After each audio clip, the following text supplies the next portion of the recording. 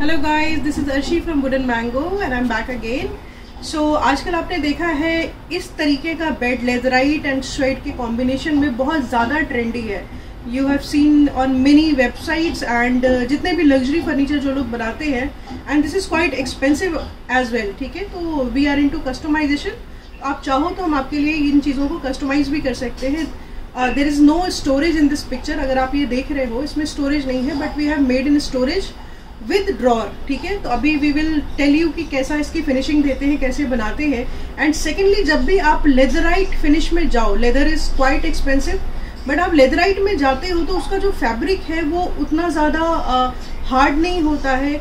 और स्ट्रेच करने पे उसके जो धागे हैं, जो थ्रेड्स हैं, वो खुल जाते हैं ओपन हो जाते हैं। प्लस इस तरीके का जो आप पिक्चर में देख रहे हो, इस तरीके का निडलिंग का जो है आपका दिखता है, जो कि खिंचा हुआ सा दिखता है। आप इस पिक्चर में देखो दिस इज़ जूम्ड व्यू ठीक है? तो आप जब भी आप लेदराइट का कोई भी चीज़ बनाओ तो हमेशा एक चीज़ माइंड में रखो कि ये जो आपके एजेस आते हैं, आप एक बार क्लोज दिखाइए। जो एजेस हैं, आप हमेशा उसमें ये पाइपिंग डलवा करके आप इसका काम करवाओ। Always has to be like this ठीक है? इसमें पाइपिंग होने से क्या है? इसकी सिलाई मज़बूत हो जाती है, ठीक है?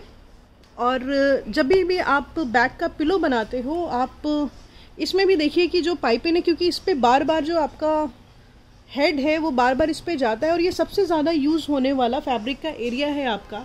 और पिक्चर में आप देखते होंगे this is in straight word we have done इसके अंदर हमने फोम डाला है उसके ऊपर फोम के ये छोटे छोटे पीसेस करके डाले अगर आप इस वीडियो में देखो तो we have made it like that ठीक है? इसके ऊपर फिर हमने फाइबर की फिलिंग की हुई है। सो so, ये आपको एक बाउंस देता है आपको एक कंफर्ट देगा जब भी आप अपना बैक इसके ऊपर लगाओगे। आपको फिर पिलो की ज़रूरत नहीं है एक्चुअली में ठीक है? आप इसको एज अ पिलो यूज़ करो। ठीक है तो फिनिशिंग का आप ध्यान रखो। अब दूसरी चीज़ आती है, हमने इसके अंदर एक नई चीज़ की है कि हमने पुश टू ओपन ड्रॉर दिया है। स्पेस तो है ही आपका बट हमेशा आपको हाइड्रोलिक आपको अप करने की ज़रूरत नहीं है कि आप हमेशा हाइड्रोलिक को खोलो, उसमें से चीज़ें निकालो। घर में बच्चे हैं, कुछ है तो आप इजीली और ये पुश टू ओपन है, आपको झुकने की ज़रूरत भी नहीं है। सी आप इसको इस तरीके से आप यूज़ कर सकते हो। सिर्फ़ आपको पुश करना है। ठीक है it's very easy and easy to use आप देखो इसको।